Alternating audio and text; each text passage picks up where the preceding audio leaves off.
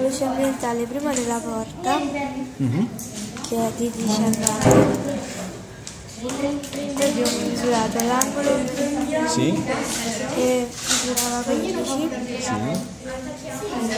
e poi abbiamo misurato Ah, ok, la distanza. no, l'altro No, angolo. l'altro angolo. Abbiamo misurato tutti gli angoli.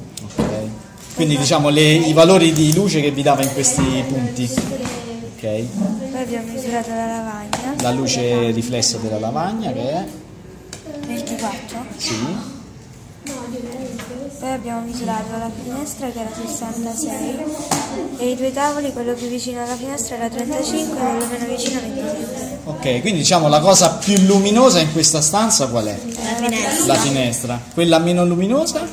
La porta. La porta. Anche la lavagna forse. L'angolo della porta. Ok. E, e il muro, diciamo muro e tavolo 30 perché sono bianchi probabilmente riflettono bene la luce.